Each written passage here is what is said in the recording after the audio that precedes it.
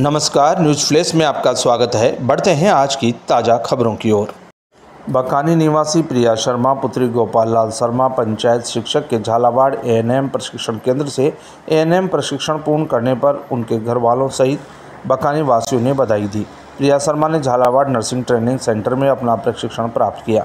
प्रिया शर्मा ने बताया कि वह शुरू से ही चिकित्सा क्षेत्र में जाना चाहती है, अतः झालावाड़ रहकर कड़ी मेहनत की और प्रशिक्षण के आखिरी सत्र में 600 में से 506 अंक प्राप्त कर अपना लक्ष्य हासिल किया।